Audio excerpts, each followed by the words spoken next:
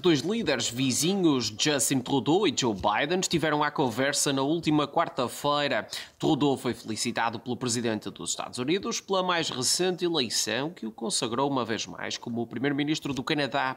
Depois das formalidades, Trudeau e Biden prometeram reunir-se em breve para discutir a cooperação bilateral numa série de arquivos importantes. Estão incluídas questões económicas e comerciais entre os dois países a estreita colaboração no combate às mudanças climáticas e promoção de uma recuperação económica verde e a resposta à Covid-19, que inclui a gestão da fronteira terrestre entre o Canadá e os Estados Unidos. O Primeiro-Ministro e o Presidente norte-americano discutiram ainda a detenção arbitrária de cidadãos canadianos nos casos de Michael Spavor e Michael Kovrig, na China.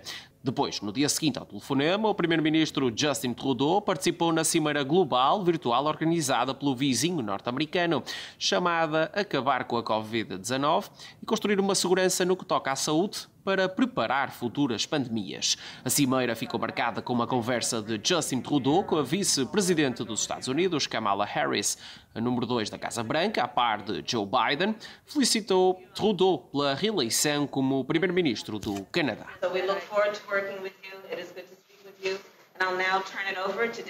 Minister Freeland.